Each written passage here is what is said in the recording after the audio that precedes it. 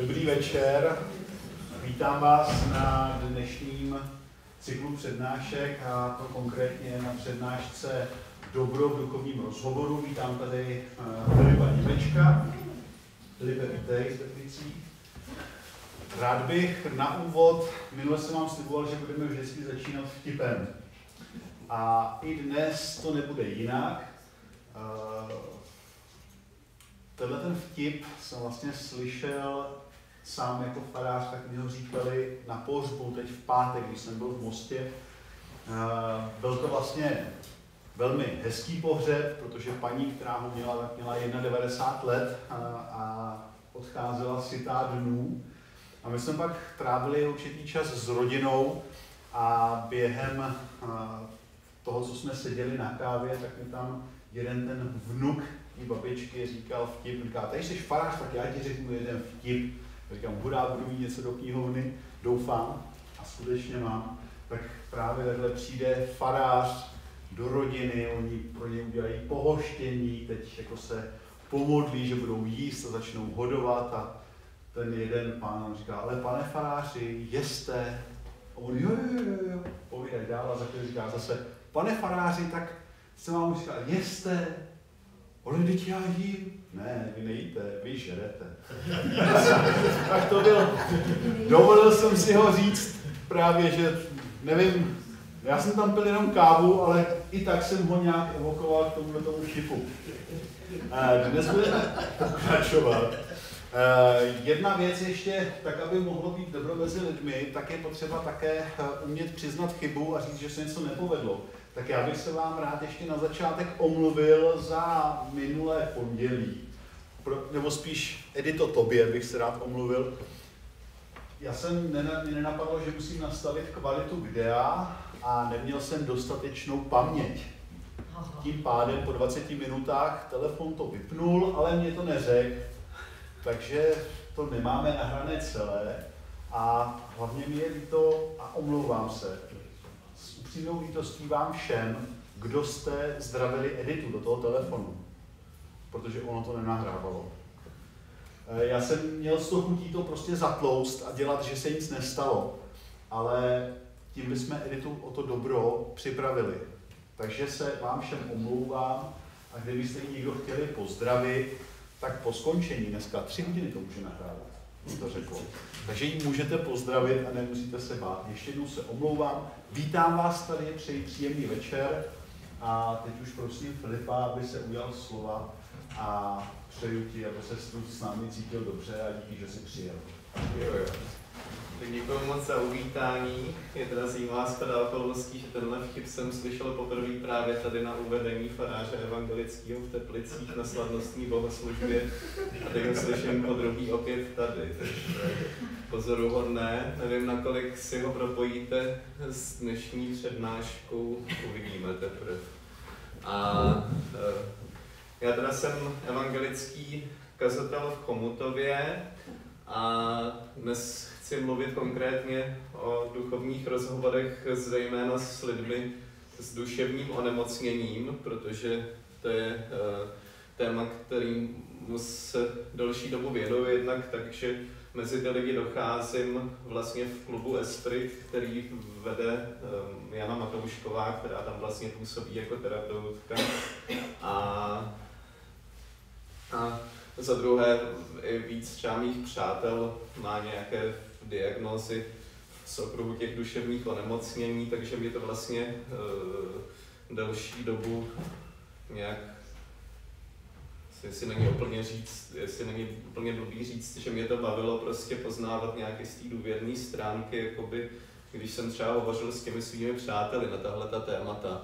A, eh, a co se dá eh, říct úplně nejvšeobecnější teorii, Jednak samozřejmě, když má někdo nějaké duševní onemocnění, tak eh, bývá často na místě, aby, aby se léčil nějak eh, psychiatricky a bral nějakou medikaci, ale na druhou stranu jakoby je dobré to duševní onemocnění nazírat nějak komplexně. To znamená i právě z té duševní a duchovní perspektivy. To znamená taky často lidem pomáhá vést rozhovor, ať už terapeutický, nebo, nebo, eh, nebo navazovat jakékoliv bližší vztahy, může prostě pomáhat vždycky do jisté míry.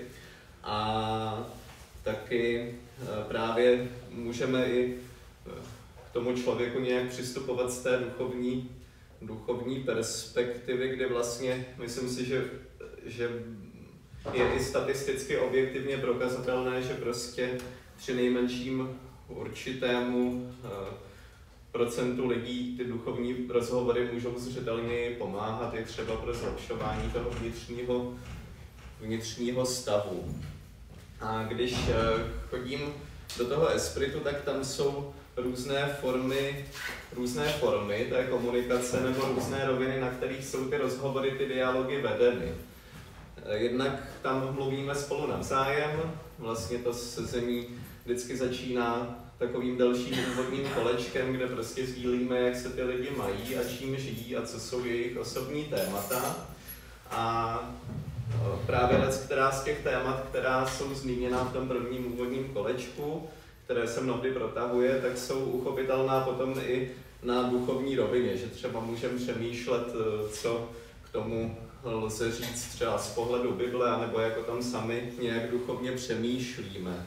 Potom můžeme vést rozhovory právě třeba s tím biblickým nebo nějakým jiným náboženským textem. Tam třeba v tom Espiritu, když chodím, tak tam většina z těch lidí se nějak více či méně hlásí ke křesťanství, ale není to taky vždycky úplně zřetelné. Někteří se hlásili i k jiným duchovním směrům a třeba někdo nám tam nosil nějaké hinduistické texty pro inspiraci a pro společné zamyšlení, takže se otevírá pak vzájemný dialog i nad tím. My, co to cítíme spíš křesťansky, tak jsme říkali, jak to chápeme my. A ten, kdo se hlásí třeba spíš k tomu východnímu náboženství, tak nám říká, jak to chápe on a hledáme průsečnice nebo odlišnosti a ujasňujeme si zase na tom i, kdo jsme my sami.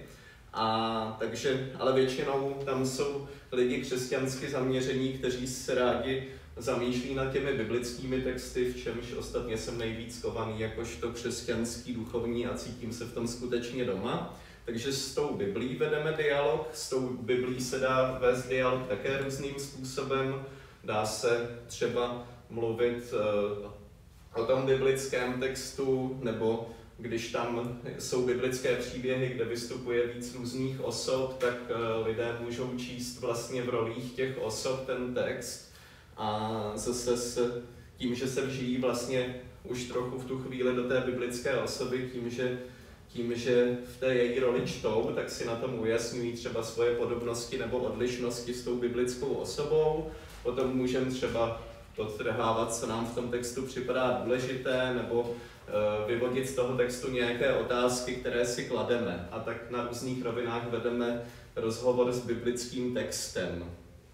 Potom Eh, můžeme vést rozhovory nad jinými duchovními knihami. Potom, co je výborné, když někdo přinese svoje vlastní umělecké dílo, protože eh, větší množství těchto lidí, třeba kteří do toho espiritu chodí, tak bývají nějak umělecky senzitivní a píšou třeba různé básně, nebo třeba jeden z těch lidí tam psal i další divadelní hry. A potom jsme třeba i na pokračování četli zase tu další divadelní hru a lidé v kůžích těch různých osob zase se ocitali a potom to vždycky můžeme ale zase nějak schrnout v tom rozhovoru, který je i duchovní. Potom uh, samozřejmě se můžeme povídat i o cizích duchovních dílech. Já jenom tady ještě abyste měli taky nějaký artefakt, který se vám dostane do rukou, tak jsem při, přines namátkou e, sbírku básní od karlovarského básníka Lubora Vyskoče, který se dlouhodobě e, léčí s paranoidní schizofrenií, ale řekl bych, že skutečně to je zároveň talentovaný básník, tak jenom pro ukázku té umělecké tvorby, která je současná a je z toho karlovarského kraje, který je těsně vedle, vám to tady můžu nechat kolovat. A takže můžeme hovořit i o cizích uměleckých dílech, ať už tvořených třeba jinými lidmi s nějakou diagnózou duševního onemocnění nebo bez ní. Potom tam třeba můžeme někdy vykládat e, karty třeba s nějakými obrazovými symboly a lidé potom si vybírají karty, které jim připomínají, jak se cítí nebo jaká jsou jejich důležitá životní témata, anebo i právě karty eh, se symbolickými obrazy, které jim připomínají něco, co by třeba podle nich do té jejich situace mohl říct Bůh, což je to duchovní téma. Potom tohle je eh, další zajímavá eh, metoda otevírání rozhovoru, to jsou takzvané biblické postavičky, které se vyrábějí od 50. let podle nějakého švýcarského patentu z jednoho švýcarského kláštera, kde tu metodu rozvinuli. A tahle ta postavička obvykle má hrát Ježíše a ostatní postavičky se stávají různými postavami podle libosti. Tradičně to je používáno jako metoda katechetická, to znamená, eh, ti lidé, kteří se s těmi postavičkami setkají, tak se z nich můžou sestavit různé scény biblických příběhů. A tím, že ta postavička nemá tvář, tak si můžeme představovat různé její emoce podle toho, jak se ten biblický příběh mění. Tady v tom Espiritu eh, jsme ty postavičky několikrát taky měli mezi těmi lidmi s duševním onemocněním a tam je potom zajímavé, že eh, ty postavičky se dostávají i do dialogů vyjadřující právě, vyjadřujících právě vnitřní stavy těch lidí. Takže třeba každý může právě i skrze ty postavičky vyjádřit, jak se má a jak se cítí zrovna. A k tomu lze říct i třeba taková všeobecně přijímaná psychologická teorie, že každý z nás má v sobě třeba něco jako vnitřní dítě a vnitřního dospělého nebo vnitřního rodiče, takže když chci vyjádřit, jak se mám s pomocí těch postaviček, tak můžu třeba i vyjádřit, jak se má to moje vnitřní dítě vzhledem k tomu vnitřnímu dospělému, třeba jestli spolu jsou v nějakém dialogu nebo v nějaké rozepři naopak. Potom podle toho, jestli si vybírám třeba v tu chvíli spíš tu ženskou postavu nebo mužskou postavu a tak dál, tak tím také něco vyjadřuju. Potom jednou jsme třeba vyjadřovali vztah k vlastní temnotě, že když se dá doprostřed ta temnota třeba, což je také důležité životní téma, nějak eh, nacházet vztah k vlastním třeba temným stránkám nebo ke svému stínu, tak eh, ty moje postavičky, které tvoří tu mou osobnost, k té mé temnotě zaujímají různý vztah. Třeba jsou schopné ji nějak nazřít, nebo naopak před ní utíkají. A třeba každá z těch postav, které jsou součástí mého já, té temnotě zaujme nějaký trochu jiný vztah. A potom třetí, a to je právě už zase duchovní téma, když, eh, když přemýšlíme, jaký k té naší vnitřní temnotě a k těm našim ostatním postavám v souvislosti s tou vnitřní temnotou zaujímá vztah Ježíš podle našich představ. Protože ten Ježíš třeba může podle našich představ být odtažitý, a nebo naopak, protože vyznáváme i v apoštolském vyznání, že se stoupil do pekel a prošel i tím naším utrpením, tak může procházet i tou naší vnitřní temnotou. A to je zajímavé uvědomění. A samozřejmě my nevíme, kde ten Ježíš transcendentní skutečně je, ale díky tomu, že si tam postavíme někam tu postavičku, tak získáváme nějakou představu. A díky tomu, že vidíme, že ostatní zase toho svého Ježíše třeba staví někam jinam, tak eh, v tom dialogu se obohacujeme a začínáme tušit, že ten Ježíš může být třeba i někde jinde zase potom. A takže postavičky nám rozehrávají také zajímavé životní dění a také další rozhovory nad nad biblickými texty i nad děním v naší duši.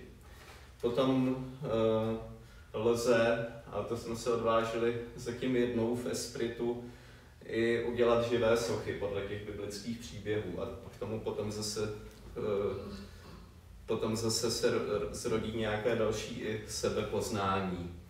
A uh, Obvykle potom ta setkání končíme modlitbou, takže v dialogu se ocitáme sami se sebou, s druhými lidmi a věříme, že i s tím Bohem v té modlitbě.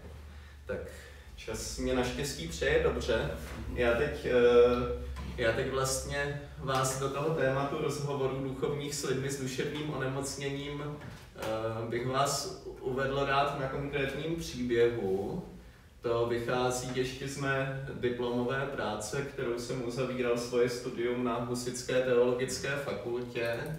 Tam uh, jsem měl to štěstí, že přednášel, uh, pro, přednášel profesor Jiří Motl, který je také velmi hluboce zainteresován do otázek psychologie náboženství a do otázek právě duchovních rozhovorů s lidmi s duševním onemocněním. A také i ten Jiří Modl má víc přátel, kteří se třeba léčí s diagnózami schizofrenie nebo s diagnózami schizofrenního okruhu a ten Jiří Modl je na ně skutečně velmi niterně napojen, takže já jsem byl moc rád, že jsem ho tam poznal a že jsem mohl studovat a psát tu diplomovou práci pod ním.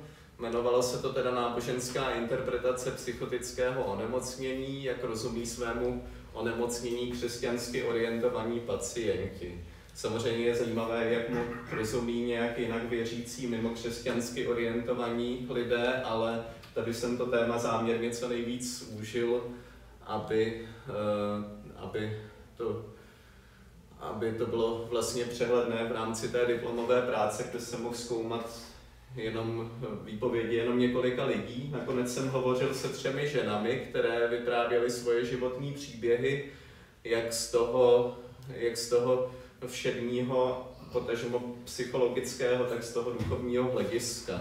A jedna ta žena, kterou ve své práci nazývám Štěpánka, tak eh, mi poskytla vlastně množství obrazů, to byla hromada obrazů, které malovala v období přibližně pěti let, eh, do té doby, než jsem ji potkal. A na těch obrazech byl i byl i vidět ten příběh toho jejího duševního onemocnění a ten vývoj toho duševního onemocnění v souvislosti s jejím životním příběhem v čase.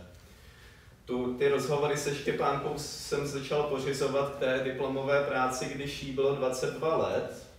Eh, k jejímu úvodu do toho jejího životního příběhu lze říci, že Ona teda žila v tu dobu ještě s rodiči a měla dva bratry. Jeden ten bratr je starší a je to, má poruchu autistického spektra, druhý je mladší. Od roku 2007 se ta Štěpánka léčila s depresí a s hraniční poruchou osobnosti, což je taková porucha osobnosti, kde se střídá víc různých symptomů, včetně těch eh, symptomů hraničících se schizofrenií. A potom od roku 2010 eh, se schizoafektivní poruchou, což je diagnóza, kde se objevují příznaky schizofrenie i té eh, bipolární poruchy, která je známá také jako maniodepresivní psychóza. Potom vedle toho, že ten starší bratr má tu poruchu autistického spektra, tak se tam naschromáždilo víc zátěžových situací v té její rodině, eh, Jinak eh, byla to nevěřící rodina, akorát ten její autistický bratr potom konvertoval ke křesťanství a stal se katolíkem a ta její matka později začala také trochu duchovně žít spíš podle svých vlastních pojetí. A vztahy s rodiči a e, s tím starším bratrem vykreslovala ta Štěpánka jako všeobecně komplikovanější. Zhruba od 8 let vnímala bratrovou odlišnost a měla pocit, že ona sama je kvůli tomu jiná. Pokud jde o vztah s matkou, tak té matky se spíš bála, s ničím se jí moc nesvěřovala a matka jí nepřiměřeně trestala podle jejich slov nějakými dlouhodobými výčitkami nebo citovou izolací Štěpánka říká, že v té rodině cítila, že není milována, ale byla na svých rodičích závislá a těžce nesla odloučení. Také vzpomíná, že třeba matka jí nikdy hm, bezdůvodně nekoupila nic dobrého, takže ta Štěpánka potom třeba podléhala závislosti na sladkostech a na přejídání. A vzpomíná, že od jak živa cítila silné pocity osamělosti a odlišnosti, což jí zúzkostňovalo a nabývala dojmu, že svěří se někomu, tak se jí to vymstí. A pořád se jí vracela ta úzkost z tohoto. A rodiče Štěpánce říkali, že rodinné problémy se jí vlastně netýkají, takže pak v ní uh, utkvíval i takový postoj, že se jí to vlastně netýká, co se děje, což přejímala. A do konfliktů se nezapojovala, cítila se v nich bezmocně Mimo to označuje svou dětskou roli přirovnáním, že byla něco jako závodní kůň, protože možná na ní vyvíjeli nevědomý národ ti rodiče, aby ona byla ta zdravá a úspěšná, aby byla vlastně zdravější a úspěšnější než ten její autistický bratr. Tak eh, ona takhle různě vzpomínala, říkala, že dosud bojuje s úzkostmi z izolace, třeba když se pohádá s partnerem, takže potom prožívá konflikt mezi silným vztekem a silným strachem z oddělení. Potom ještě popisovala toho otce, který, o kterém říkala, že je milý, ale svým způsobem je slabý, jako kdyby nebyl tak trochu, ale zároveň hovořila i o tom, že si ho váží. Potom e, mluvila ještě o tom starším bratru, se kterým trávila čas od nejranějšího dětství a říkala, že ten autistický bratr je pro ní zároveň dar a zároveň prokletí v jednom. Ona i zprostředkovala často komunikaci mezi tím bratrem a zbytkem světa, nejlépe mu rozuměla, a protože on s tou poruchou autistického spektra vlastně všechno hodně racionálně rozebíral, tak ona eh, i díky tomu se blížila k filozofii. Potom studovala filozofii na filozofické fakultě.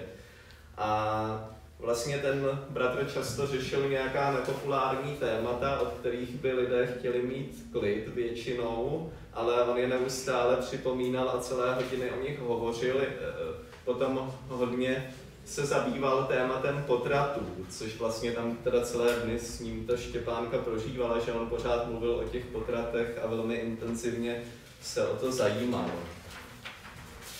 A v šesté třídě nastoupila na gymnázium, těžce hledala místo v kolektivu, měla třeba různé potíže z nervozity, svěřila se s tím té matce, ale ta matka ji odmítla a obvinila ji, že si ta Štěpánka vymýšlí a měla dvě stálé kamarádky, z nich jedna byla později hospitalizována kvůli anorexii a druhá kvůli té hraniční poruše osobnosti. Potom e, Potom se začala uzavírat do sebe ta Štěpánka, měla eh, čím dál větší potíže s, s nespavostí, které pak přetrvávaly léta. To potom říkala že, vla, říkala, že vlastně v době, kdy se jí to duševní onemocnění rozvíjelo plně, takže spala v průměru dvě až tři hodiny denně, což byl stav, který sám o sobě dlouhodobě ji uváděl do změněných stavů vědomí. A v těchto dobách na tom gymnáziu ty dvě Štěpánčiny kamarádky, které měly už zkušenosti s psychiatrickou péčí, tak vysledovali, že s ní něco není v pořádku a přemluvili jí k návštěvě psychiatra. Ta lékařka stanovila na začátku, že, že ta Štěpánka má středně těžkou depresi, poslala ji do psychiatrické léčebny, ale tam, tam co se cítila silnou vinu za to, že je hospitalizovaná, protože to nějak nedovedla obhájit před tou svou matkou, ale pobyt v psychiatrické léčebně jí byl úlevou. Potom docházela k psychiatričce a k psychoterapeutovi, ale, uh, stří, ale střídavě přerušovala tu péči. Pak také třeba kouřila marihuanu na, na uklidnění, ale uh, to úplně nepomáhalo. Potom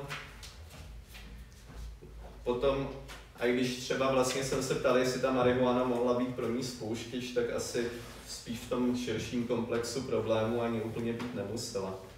Potom vlastně, když už se pozvolna začínáme chýlit k těm obrazům, tam k tomu lze ještě říct, že ona tím, jak byla hodně citlivá a vlastně pro, pro, procházela tím dospíváním, které pro každého z nás asi bylo trochu těžké, tak vlastně e, na jednu stranu v rámci toho svého intenzivního hledání toho, jak v životě nějak důstojně obstát a co je důležité a tak podobně, tak, tak vlastně velmi intenzivně a pronikavě toužila najít. Něco, k čemu se bude moct smysluplně vztahovat. A vlastně sama potom upozorňovala i na různé skutečnosti, které lidi tabuizují a na nějaké pocity, které vytěsňují, aby to bylo pro, ní, pro ně pohodlnější a ti její blízcí měli pocit právě, že, že, že až přes příliš ta Štěpánka touží potom detabuizování těch různých tabuizovaných pocitů, takže v tomhle tom byla jakoby nějak bytostně asi upřímná, hodně a poctivá v tom životním hledání. Na druhou stranu říká, že to přecházelo i do jakési pózy, kdy vlastně se přirovnávala třeba k těm prokletým básníkům, kteří na jednu stranu se eh, chovali jako takový estéti a svým způsobem eh, zaujímali různé umělecké pózy, ale na druhou stranu trápili se autenticky ve svém životě.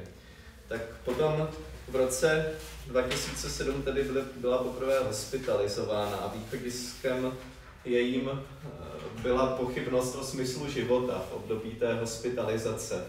Tady jsou nějaký úryvky třeba z jejich esejí, které psala eh, v tu dobu. Tam psala takové myšlenky, jako jsem na pokraji deprese, té temné hluboké propasti, ale nemohu do ní spadnout, protože jsem jen stroj a nadopovali mě chemii. Ale mně se zdá lepší myslet a trpět, než být jako stroj, jako ostatní. Myslet je jiný způsob existence. Myslet znamená sáhnout na plotnu a bojovat se svým instinktem. A tak podobně, radši chtěla teda vědomě trpět, než, než unikat tomu utrpení. A potom píše, což je takové uvažování typické asi pro ten vnitřní zmatek předcházející rozvoji třeba té schizofrenie, tak píše úvahy typu jsem mimo vás všechny, svět je bludiště a vy jste světem. Vy jste bludiště, jsem tak sama v bludišti, ani není pevný bod, od kterého bychom mohla pojmout. I pravděpodobnost se dá určit jen s určitou pravděpodobností. Není pevný bod, na kterém bych vystavěla tu křehkou konstrukci, co spadla jako domeček z karet. Takže slyšíme z toho tu její velkou citlivost a zároveň i silnou dezorientaci v tom světě, který je zaplaven úzkostí a pochybnostmi a nenachází příliš asi někoho, kdo by si s ní rozuměl v tu chvíli v těchto pocitech a kdo by je bral dostatečně vážně a komunikoval by s ní o tom na rovinu. Potom právě eh, vidíme tady, že se čím dál víc rodí ta Štěpánčina obliba ve filozofii, a protože psala už takovéhle eseje, a říká, že vlastně i ten její filozofický, bystrý, analytický rozum jí potom vždycky pomáhal, že vlastně i když, i když Eh, se propadala do toho duševního onemocnění, tak eh, zase na druhou stranu ten rozum jí vždycky pomáhal do jisté míry v tom, aby se zorientovala, co se děje. Ale zase na třetí stranu, což je zajímavé, říkala, že vlastně když potom slyšela větší množství hlasů v rámci těch schizofrenních příznaků, takže ten rozum eh, vlastně se zhmotňoval do jednoho z těch hlasů a choval se jako nějaký takový diktátor, který pořád něco analyticky rozebírá. Eh, a vrátím se teda ještě v tom čase v období před tím, než se jí začaly rozvíjet ty příznaky schizofrenie. Tady je první obraz, tady nakresl, namalovala budovu střední školy, kam chodila tehdy. Ten obraz se jmenuje Poklad. A jmenuje se Poklad, protože tady je zřejmě pod zemí zakopaný nějaký poklad a jeho záře prosvítá na povrch. A tehdy totiž také na té střední škole se e, zamilovala do svého profesora společenských věd, protože ten vlastně ji podporoval i v té lásce k filozofii a ona v něm tušila nějak je to porozumění a život dosud neobjevený, takže ten poklad možná asociuje i ten nový rozměr rodícího se života a o té škole říká, že byla šedá, jako, jako to je jí v tu chvíli tak trochu mrtvé já, kdy se zavírala do těch přísně analytických úvah o tom, jak je všechno svým způsobem nesmyslné a absurdní. A potom tady eh, je další obraz, kde zpracovává tu nově se rodící zamilovanost, která vlastně prolamuje ten její starý šedý svět. Tady vidíme mapy v učebně zeměpisu a ty mapy vzplály vášnivě. Potom je obraz, který se jmenuje Prázdno. Tady je ten profesor společenských věd, do kterého se zamilovala. On sedí ve svém kabinetě a tady říkala, že viděla mezeru mezi stoly, která jí fascinovala, jako taková mezera v jinak uzavřeném systému. A potom na spoustě dalších jejich obrazů uvidíme, toho si pak můžete všimnout i později, různé průhledy, otevřené dveře a jakoby vždycky nějaké místo, ze kterých se rodí nějaká další cesta nebo nová možnost. Potom ona teda bojovala s těmi svými city, s tou zamilovaností do toho profesora, ale čím dál víc si je připouštěla a velmi tomu podlehla. Tady, eh, tady je další obraz, který namalovala tou dobou. Je tam hrob, ale je na něm popisek zítra vstanu z mrtvých, abych vás mohl milovat.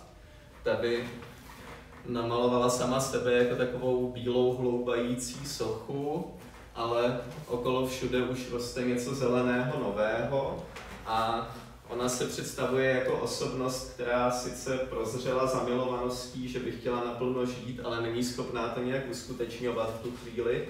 A byl tam ještě popisek, šedé jsou všechny teorie, zelený je strom života. Tady to je uh, obraz jménem podsta Albertu Camimu. Ten Albert Camus je známý existenciální filozof, který často prožíval pocity absurdity existence a toho, že ten jedinec si tu absurditu existence musí nějak připustit poctivě a začít proti ní bojovat. A toho Kamiho, ona tenkrát ještě nebyla věřící, ale nacházela se v té filozofii těch existenciálních filozofů, tak toho Kamiho velmi ráda četla. Tady vidíme zase nějakou tu vroucí vášeň v podobě té tropické krajiny, a tady určitý ten chlad osobní, což se v ní neustále pralo v té Štěpánce. Potom eh, tohle se jmenuje Okamžik, tam je vlastně téma zase té sexuální vášně a taky k tomuhle obrazu říkala, že tehdy neměla, neměla nitro, ale jako kdyby měla tu bedínku, která jí dodávala tu energii na místo toho nitra. Potom eh, odmaturovala na té střední škole a chtěla se s tím profesorem nadále setkávat, protože do ní byla zamilovaná skutečně intenzivně a celkově ona je takový člověk žhoucí, který neprožívá věci jenom částečně, ale velmi naplno do nich vpadá. Takže e, se s ním chtěla setkávat a vzpomíná také, že na to, že e, prožívala i intenzivně tu osobnost toho profesora, že jí přišlo, že je v něčem jakoby bytostně neupřímný, na druhou stranu a toužila jak potom, aby se on změnil, tak toužila potom, aby se změnila nějak ona, když vlastně viděla, že, že, že se jí čím si ten profesor podobá a celkově tenkrát prožívala takové velmi silné věmy toho, že ve společnosti jsme často neupřímní, protože musíme hrát nějaké role a máme nějaké masky, ale vevnitř ve skutečnosti bytostně bychom chtěli dosáhnout něčeho jiného a to viděla jak na tom profesorovi, tak na sobě. A ten profesor asi si s tím neuměl úplně poradit, když ona jako čerstvá maturantka ho potom i nadále vyhledávala, protože na jednu stranu Ona byla celkově charismatická a asi mu byla taky sympatická podle toho, jak o tom vypovídala, nebo minimálně podle toho, jak ona to vnímala, s tím profesorem jsem nemluvil.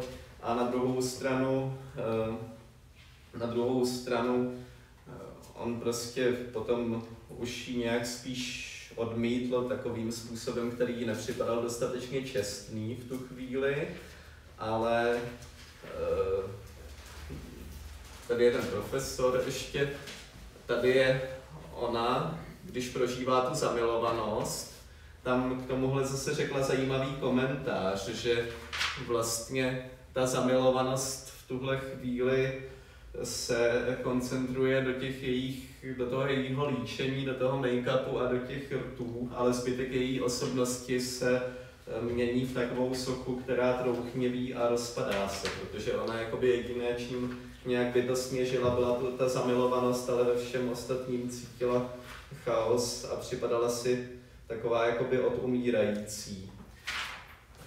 Potom eh, tohle je obraz, tímž vrcholí to období zamilovanosti, to je obraz jménem Úder do skla, kdy vlastně se odvážela k razantnímu činu, že tomu profesoru, profesorovi napsala nějaký velmi upřímný a vášnivý milostný dopis, který byl zároveň obsáhlou filozofickou úvahou a ona vlastně i zpětně se stotožňuje s tímhle svým tehdejším činem, že to bylo takové jakoby vystoupení na povrch v těch různých jejich pocitech. Takže to je jako když prorazíte to sklo toho, co už eh, jako kdyby předtím byla za tím sklem a tím, že napsala ten dopis a odvážila se tohoto opravdového činu, tak to sklo prorazila a mohla se dostat do nového kontaktu s okolním světem. Ale jednak ta láska byla neopětovaná, za druhé ta Štěpánka sama celkově byla pořád v takovém vnitřním chaosu, říká, že upřímně toužila pořád potom, aby lidé naplňovali různé vyšší ideály a hodnoty, ale že ona sama toho nebyla schopná, ale spíš se měnila v takovou vášnivou agitátorku. Ona to třeba přirovnává k nějakým pouličním kazatelům, kteří eh, křičí na ulici, ale sami neumějí obstát ve svých vztazích, nebo k podobným typům agitátorů to připomíná, přirovnává s tím, že ona eh, vlastně ve ve fázi toho sílícího duševního onemocnění byla v tomhle směru hodně exaltovaná. Potom nastoupila na filozofickou fakultu. Tady z období toho nástupu na filozofickou fakultu pochází obraz oko. Tady je to oko, které chce nazřít svět čistě, tak jak je, ale brání mu v tomu, jak různé proudy myšlenek, tam jsou citáty jejich oblíbených filozofů, tak eh, černý závoj emocí. Tady je eh, další obraz z počátku toho období na filozofické fakultě. Vidíme, že ten výjev je znepokojivý, protože tady, eh, tady je ona, která trpí v tu chvíli, potom tady je společnost, tak jak ji tehdy vnímala, která se mění spíš v nějaký nesrozumitelný rej maškarní a tady vlastně už vidíme tu psychickou nemoc, která se chystá sevřít její hlavu v kleštích. Tady potom, to jsou další obrazy takové té izolace nebo osamělosti, kterou tehdy cítila. Říká, že i po té zamilovanosti třeba vystřídala víc partnerů a třeba ač jí měli rádi, tak ona sama s nima nedokázala navazovat nějaké hluboké vztahy, ale spíše využívala k tomu, aby nebyla sama a k tomu, aby neupadala do těch, do těch hlubokých depresí tolik.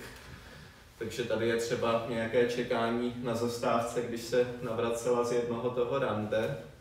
Eh, tady to je zase podobně jako byl předtím ten poklad, tak tady je zase nějaké světlo chystající se vyvalit ze země.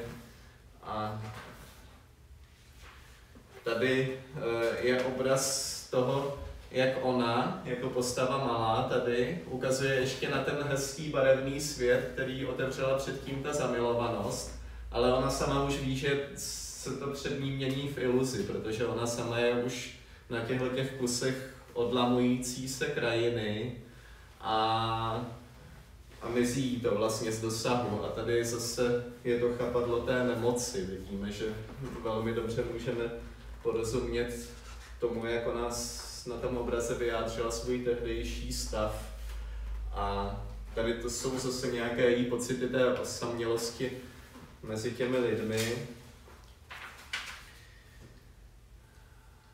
A tady to je obraz sexuality, se kterou si nedovedla poradit a která jí velmi intenzivně jakoby přepadala zvenku a ona jí tenkrát v sobě neuměla nějak, nějak zpracovat a říká, že vlastně tou zamilovaností předtím prozřela nějakým duchovním způsobem, protože zjistila, že jsou právě vyšší hodnoty než nějaké čistě materialistické, ale na druhou stranu tím, jak ten profesor ji odmítl a ona neměla nic místo toho, tak vlastně nevěděla, jak si s těmi věmi má poradit. A spíš, spíš potom jí přepadaly už jenom pocity, pocity toho, že všichni si něco nalhávají a že ten svět to ne v nějaké negaci. A že jsou lidi neupřímní k sobě. Vlastně začala už cítit velmi, velmi prožívat velmi paranoidně celou společnost, protože když ten profesor jí zklamal tím, že ji odmítl, tak ona to převedla potom v pocit, že všichni lidé jsou zlí, nečestní a neupřímní. Eh, tohle je obraz jménem Dav, kde právě tady je nějaký ten strnulý neosobní dav, tak tehdy vnímá tu společnost. Tady je nějaké jakoby planoucí křoví, které jí brání v tu chvíli tomu kontaktu s těmi lidmi, nebo které si ona před sebe postavila jako obranu, aby si těmi, těmi lidmi nemusela zabývat. A tady je její já jako strom, který v zimním období snad není mrtvý, ale jenom spí. Tady potom je první obraz z období druhé hospitalizace. Potom ona vlastně trpěla čím dál většími problémy s nespavostí a už měla čím dál silnější ty sluchové halucinace. Ona to nazývala jako šum hlasů nebo záplavu hlasů, kde třeba byl ten rozum jako nesmírný diktátor, jako jeden z těch hlasů, který rozvíjel analytické úvahy, které jdou vést do nekonečna, říkala. Potom další ty hlasy byly třeba nějaké hlasy, které jí něco nepříjemně přikazovaly nebo nadávaly jí, takže to byl takový nepříjemný svět vnitřní. A tím, jak eh, velmi málo spala, tak se jí celkově měnilo to vědomí, takže i obyčejné úkony potom trvaly hodně dlouho, jako třeba napít se nebo obléct se. Takže potom, když cítila, že už takhle nejde dál, tak uh, Alana brala nějaké léky, ale na ty léky si zvykla, takže potom zase tím roz, nějak ty léky prostě jakoby přemluvila asi a už jí moc nepomáhaly. Takže potom hlavně chtěla něco, aby mohla líp spát a vydala se do té psychiatrické nemocnice pro léky na spaní. A, ale, uh, ale oni ji zde okamžitě hospitalizovali museli, ona si vymínila, aby jí přislíbili, že nebude nucená k tomu, aby užívala psychofarmaka, ale oni ji hospitalizovali teda pod tím příslibem, který potom ovšem nedodrželi. Takže ona potom sice ty léky e, neužívala všechny, e, spoustu jich tajně vyplivla, ale ta hospitalizace jí začala pomáhat, protože říkala, že konečně měla jakoby klid na to, aby si mohla utřídit někde stranou svoje chaotické myšlenky a stavy, aby se mohla vyspat jakoby v nějakém chráněném prostředí. Také říkala, že v té psychiatrické léčebně si konečně mohla dovolit bláznit, jakkoliv chtěla. A vlastně to jí postupem času začalo uklidňovat, i když ty léky nebrala tak pravidelně, jak měla spoustu jich vyplivla. A tady jsou ty obrazy z období hospitalizace. Tenhle obraz se jmenuje Nahota Tady jsou dva stromy těsně za sebou. Jeden říkala, že symbolizuje její nechráněnost, když je jakoby vydaná na pospas tomu zvláštnímu světu a teď i zvláštnímu prostředí psychiatrické léčebny. Tady ten druhý, druhý strom je temný, to je právě něco jako tahle ta temnota. Možná, že každý z nás, z nás má ty temné stránky v sobě a je někdy náročné na ně pohlédnout. Potom tady je obraz postel ve větru. Tady ona se choulí v rohu v té posteli psychiatrické léčebny. Tady je úplněk. Říkala, že úplněk byl pro ní vždycky inspirativní, třeba je umělecky, ale zároveň v tuhle chvíli už velmi náročný, protože jí bylo psychicky špatně. Tady kráčí postavy těch hlasů k ní a tady jí zase ze zhora zaplavují nějaké temné emoce a ona se vlastně choulí v rohu. Tady uh, to je obraz, který se jmenuje Špína. A tady vlastně, uh, protože ty její emoce různé, třeba i ta zamilovanost, ty ona v sobě nechala zamrznout z části, ale když měla konečně klid na to, aby si to nějak v klidu zpracovávala v období té psychiatrické léčebny, v období té hospitalizace, tak ty emoce začaly zase roz, rozstávat. A tady vlastně ona naznačuje, jak ty emoce rozstávají a mění se ve vodu od té kající někam pryč. Tady je další obraz, kde realisticky namalovala ten pokoj v psychiatrické léčebně. A tady vlastně už po podlaze teče voda, která vlastně odtéká pryč, ona řekla jako zdravý, čistý smutek už. A takže tam už vidíme to uklidňování a tu katarzi. Tohle je obraz, který se jmenuje Útěk. Tady je pohřeb zamilovanosti v tomto rohu. A tady jsou ještě ty ostatní emoce, které jsou často znepokojivé. A tady je zase nějaký nový průchod někam do neznáma, někam dál, ale ona ještě neví kam, takže to je zatím bílé místo. Tady to je, je zajímavý diptych obrazů.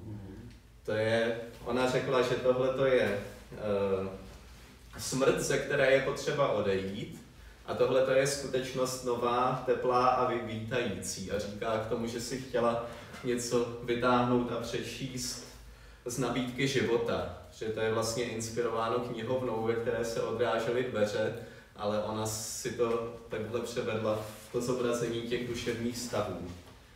Tohle je obraz, který se jmenuje Ego. To vychází z nějaké Kavkovy povídky, váže se k tomu citát, který byl napsán na druhé straně. Před, před zákonem stojí dveřník, přijde k němu muž z venkova a ptá se ho, zdali ho může vpustit do zákona. Teď ne, odpovídá dveřník. A ta Štěpánka říká, že to je zajímavý motiv zase, že viděla vlastní obraz ve dveřích na pozadí jiných otevřených dveří a vznikla z toho taková hra, kdy jakoby iluzorní postava, která je vlastním odrazem, brání člověku otevřít dveře, který by, kterými by mohl projít dál. Pak tam byl ještě nápis napsaný musím zdestruovat svoje já, anglicky teda. A i když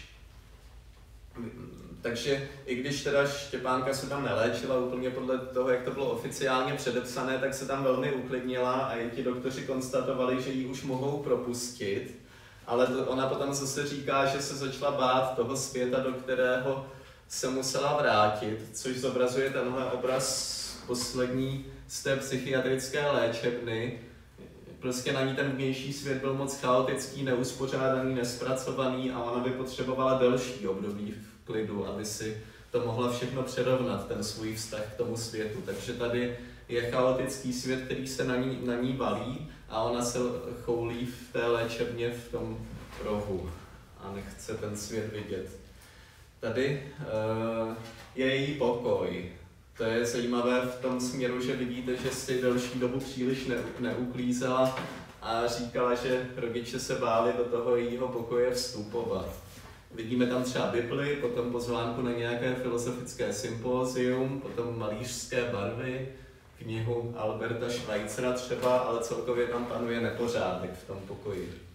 Tady uh, to namalovala, uh, namalovala vlastně nějaký les, jo, já jsem na stránce, namalovala vlastní mysl jako neprostupný les nebo labirint. A potom nastalo nejhorší období jejího života, kdy tři čtvrtě roku nemal, nenamalovala nic a říkala, že to bylo období, které popisovala přirovnáními typu děura, ze, které se, ze který se nedalo vyhrabat a začala rozvíjet úvahy, jestli by nebylo vlastně pro ní duchovní vítězství, kdyby si takzvaně vyřízla srdce a rozhodla se pro nějaké čisté zlo, který tenkrát začalo napadat, že by to bylo možná nejpoctivější, protože ty, protože ty vztahy mezilidské podle ní za moc nestály, a než aby se držela v nějakém lhostejném chladném citovém ústraní, tak, eh,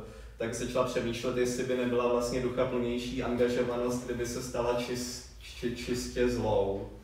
Takže Eh, říkala, že to je specifické úskalí vlastně určité fáze duševního vývoje a že vlastně ta psychóza eh, to duševní onemocnění v mnohem i posunulo dál, protože jí to spochybňovalo různé věci, které za spochybnění stojí, takové ty běžné materiální hodnoty a tak, ale na druhou stranu říká, že spočívá úskalí v tom spochybňování, protože pak člověk může spochybnit úplně všechno, včetně i třeba nějaké autentické lásky k bližnímu. Takže tohle to je její, ta, to, ta její fáze toho života byla zajímavá tím, že, že to je jakoby taková, taková zvláštní filozofická cesta, která se v určitou chvíli snoubila i s tím duševním onemocněním. I když samozřejmě jinak duševní onemocnění vůbec není nutno hodnotit nějak eticky, tak u ní se tyhle dvě otázky v tuhle chvíli sešly. Potom eh, před posledním zhoršením té nemoci se jí zdál zajímavý sen. Já to tady přečtu doslova, protože to je zajímavý příběh toho snu. Ona říká, začíná to tak, že mám byt a přijde mi tam na párty do toho bytu spousta lidí, který pozvu. A je tam odporný masopustní rej masek a postav, cizích a zlých. A právě tisknou mě tam k sobě nějaký chlapy. V tom snu je to hodně odporný, to si pamatuju. A pak tam pouštím lis, nějaký ozdobný lis a vím, jak se to snažím zachytit a rozbíjí se mi to. A já vím, že je to nějaký znamení. Je to nádherná, nádherná keramická věc, nezmírně krásná. A pak ten byt, který je můj a který je vlastně nový k obývání, tak ty lidi, ten masopustní rej, ty lidi ho totálně zdemolujou, vybydlej, poničej. Nebo jestli je půjčený ten byt, a právě potom všechno stuhne a tím davem se blíží strach, který je znázorněný do dvou osob. A já mu chci vzdorovat tím, že se na něj dívám, já toužím se na něj podívat, protože se nějak toužím vymanit z jeho moci a věřím, že mi to pomůže se vymanit, ale nemám šanci. A on na mě hledí a úplně mě ovládá. A pak ve chvíli, kdy se zhroutím a válím se tam po zemi, ale jenom tím psychickým soubojem s tím strachem, on mi řekne, ty na to nemáš a otočí se a odejde. Možná časem, nebo něco takového. A pokračuje to tím, že se to vyprázdní, ten dům. A já jdu do patra a všichni ty lidi, kteří tam byli, teď už jsou nějaký bližší, není to jenom masopustní rej, tak jdou někam spát, muži a ženy odděleně. A já zjišťuju, že to tam hoří celý. A že tam hoří ty lidi v té druhé místnosti a všichni se snaží nadspat ven z toho domu a já vím, že ten požár je to druhý znamení. Že ten rozbitý list byl první znamení a teď je ten požár a to je to druhý znamení. A teď vybíhám do chodby a takhle jsou tam otevřené dveře, to je teda hrozný detail snovej, strašlivý. To podvědomí dokáže vymyslet hrozný věci. Jsou tam otevřené dveře do chodby, ze kterých vycházejí ty lidi, kteří potřebují odejít kvůli tomu požáru a já potřebuji odejít takhle, jako druhou stranou, než ty ostatní lidi. A já tam prostě takhle zabouchnu ty lidi, i když vím, že tam uhoří a vyběhnu z toho domu a teď to tam všechno hoří a já se znovu vrátím do toho domu už jakoby vyhořelýho, sedím na okně, kouknu se z okna a za tím oknem je strom a do toho stromu udeří blesk v tu chvíli. A to jsem se probudila. A věděla jsem v tom vědomém stavu, že to je třetí znamení, ten úder toho blesku do toho stromu. A věděla jsem, že ty tři znamení byly znamení od Boha pro mě. Ale že ten Bůh je vlastně ten strach a že on je ten strach, protože já jsem si ho tak jako by zvolila. Prostě bylo to nějaký poznání racionálně nevysvětlitelný, ale měla jsem přesný náhled v tom vědomém stavu, že tohle ten sen vlastně byl. Takže tam se blíží Bůh jako strach, ona se s ním nějak nedokáže konfrontovat a zároveň zavře ty lidi v té druhé místnosti kvůli tomu, aby sama mohla opustit ten dům, když tam hoří. A to, jak zavře ty lidi, to právě ten přirovnávala k té své chuti vyříznout si to srdce, jako kdyby zavřela někde ty city a ty mezilidské vztahy, které tam v tu chvíli jakoby uhořely, když se rozhodovala, jestli se stane nebo nestane zlou. Potom, když přirovnávala toho Boha k tomu strachu, tak jsme si vzpomněli, že eh, třeba v příběhu Abrahamovi a Izákovi eh, Bůh se nazývá také strach Izákův. A jestli si vzpomínáte někdo na ten příběh, tak Abraham vlastně musel um, projít takovou zkouškou, kdy toho Izáka málem obětoval, ale Bůh mu řekl na poslední chvíli, že nemusí obětovat toho svého syna Izáka, ale potom jako kdyby uh, v tom Izákově světě ten Bůh zůstal něco jako strach z toho, že je vydaný na pospas tomu obětování. A i ta Štěpánka vlastně cítila vydanost tomu světu, který vlastně jí děsil, což je zajímavá zápletka.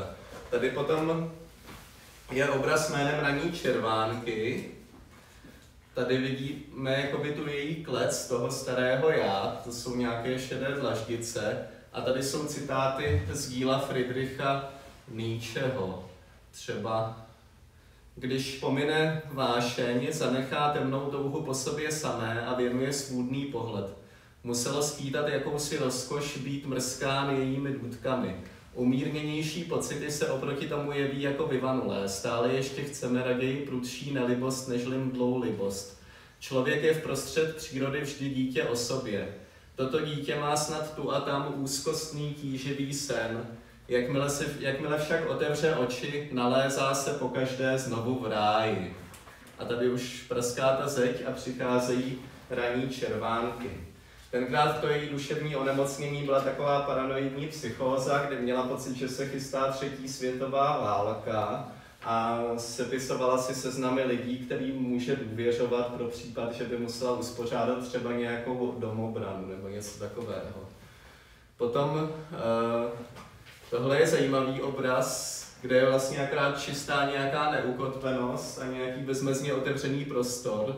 A je možné, že to, co tady byla ta eh, pukající šedá zeď toho starého já, takže se tady už akorát změnilo v tu beztvarou kouli nahlíženou zvenku. Tady to je obraz žena, k tomu říká, tam se zase vyrovnává s tou sexualitou a říká k tomu, musela jsem se nějak sešněrovat, ale jako kdyby mi to zároveň otevřelo výhled na oblohu. Uh, tohle je sen, obraz jménem vítězství strachu.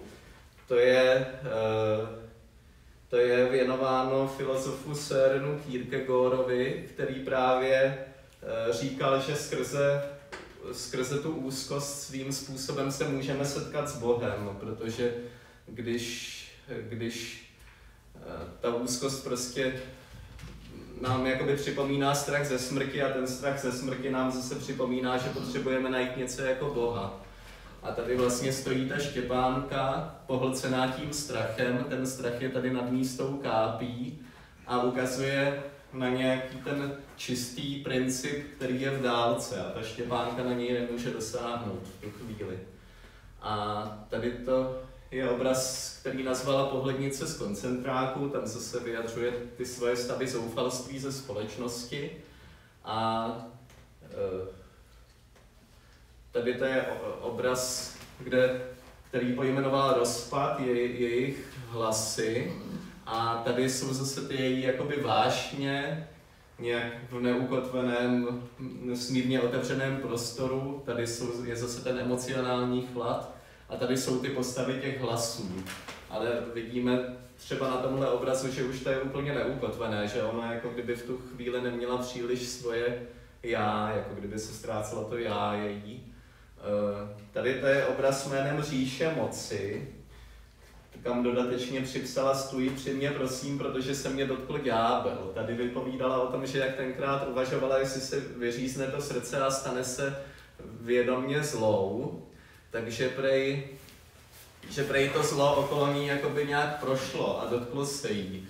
Že to byl velmi hrůzostrašný stav, ale že jako kdyby zároveň cítila už jinou sílu z hora, která ji eh, chrání a nepustí.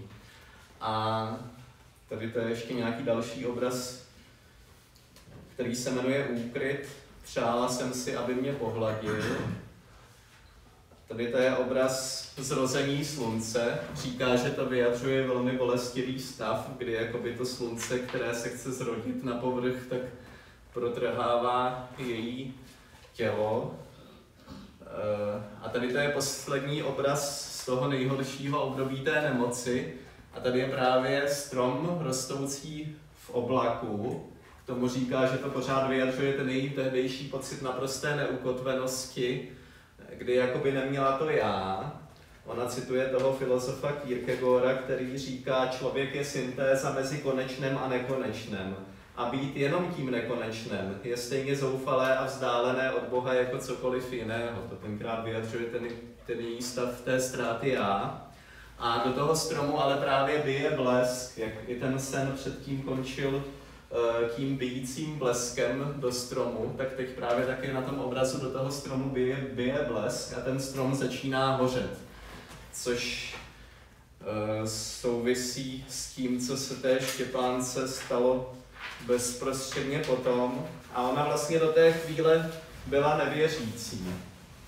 A uh, protože tím, jak byla přísně analyticky, racionálně filozofická, tak si tu víru nechtěla připouštět, protože ta víra jí připadala něco jako neúplně poctivá možnost, jako vlastně nalezení nějaké té útěchy, která nám pomůže líp žít a je to ta berlička, ale tomu jako přísná filozofka ehm, vlastně vlastně jakoby jako přísná filozofka prostě chtěla pořád v té podstatě těch věcí a tu víru jako tu berličku odmítala. Ale potom říkala, že se dostala do stavu definitivní rezignace způsobené tou nemocí a říká, že vlastně vždycky se těšila, že se něco konečně zlepší. Už od toho dětství měla pocit, že to bude jednoho dne lepší, ale potom zjišťovala, že to je pořád dokola všechno čím dál horší. A jako kdyby tomu už nemohla uniknout, že všechno se akorát pořád zhoršuje. A potom prožila nějaký zvláštní průlom, o kterém říká, to nezapomenu, ten pocit najednou úplný bezmoci, ale ne v takovém negativním smyslu. Normální člověk, když mluví o bezmoci jako o něčem skutečně tísnivým a hrozivým. Bezmoc má negativní přídech, ale tohle byla skutečná bezmoc. Já nevím, jak to mám jinak popsat.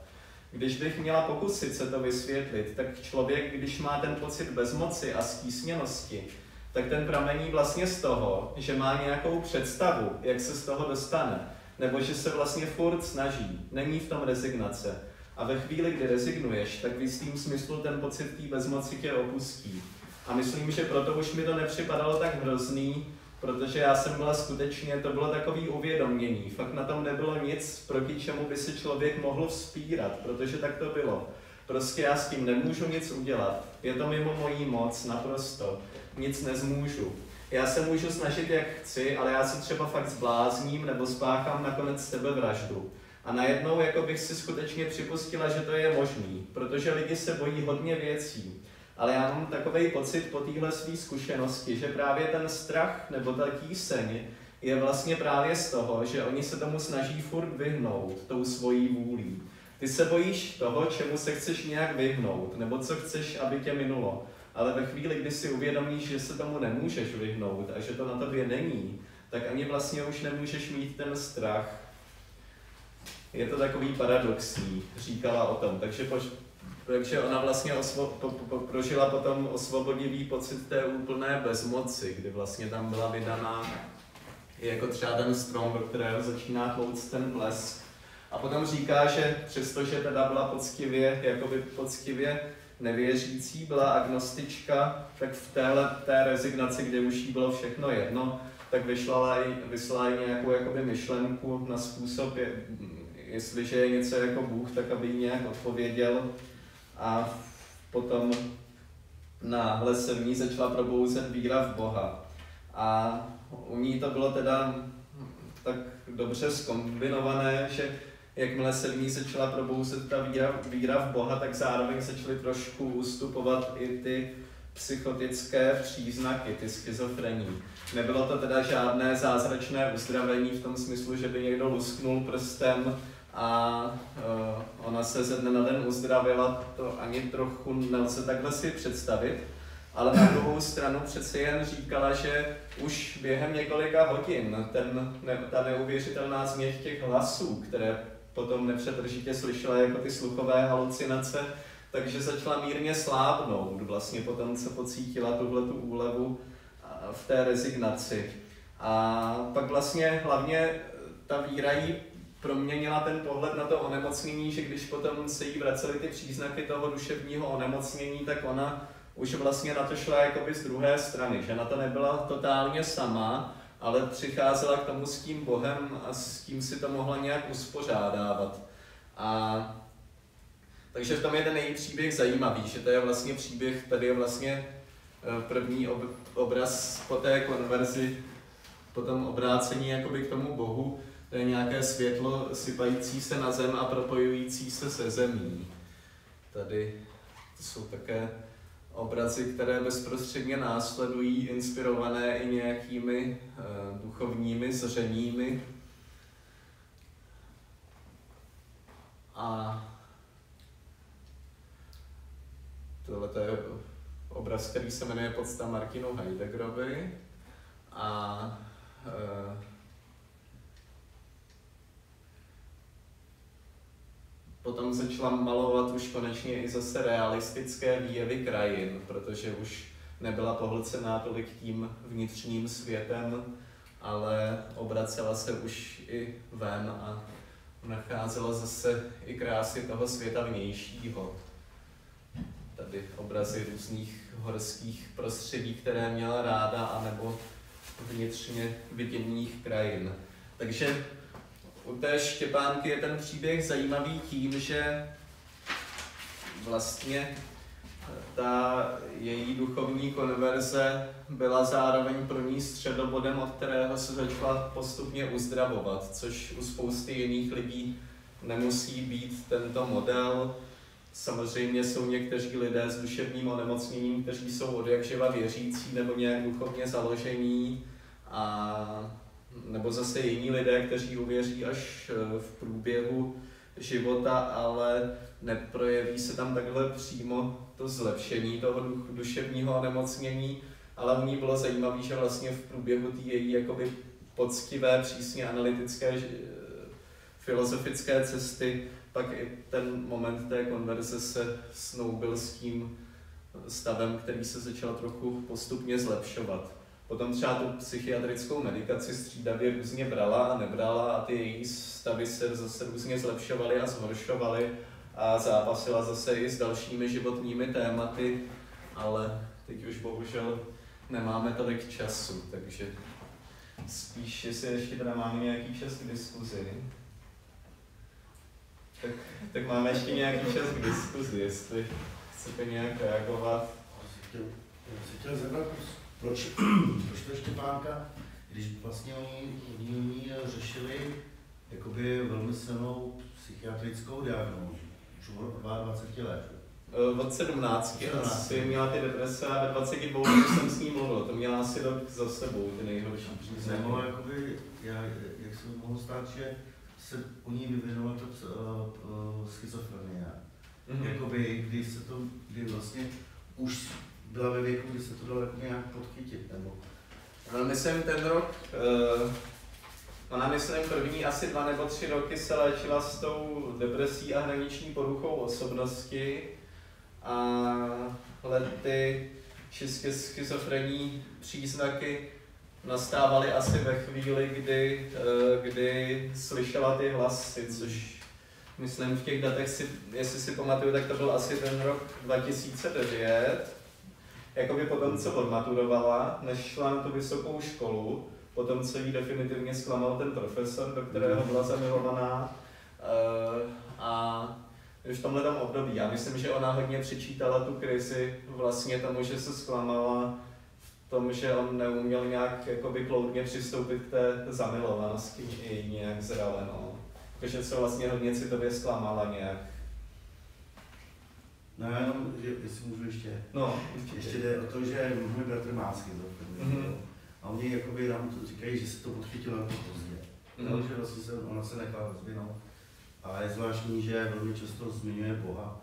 Mm-hmm. Že když ty hlasy má hlasy a mm-hmm. jsou velmi silní dostal se to do stádia, kdy už jakoby, on taky zmiňuje, že, že ta jeho osobnost mizí, mizí, že má, je to ženský hlas mm. a jediná, jediná, ona se už ničeho nebojí, ani jeho, jedinou, koho se bojí, tak se bojí Boha ještě, jo. Jako ta žena, která Ta žena, mě. kterou on slyší. Mm-hmm, to je zajímavá zápletka, no. no mě, tak mě právě zajímá, jakoby, a taky zmiňuje tu medikaci, kdy vlastně z nich byly ty krabičky, že jo, v tom a mm. jsou bez emocí a tak dále. Mm. Zajímá, jestli jakoby, s nima pracujete, tak eh, jestli jakoby, právě dokážete vytvořit jakoby, nějakou jinou alternativu vůči té medikaci a, a mm. opravdu pomoct, protože jsem přesvědčený, že oni nic než ty psychotika zatím nemají.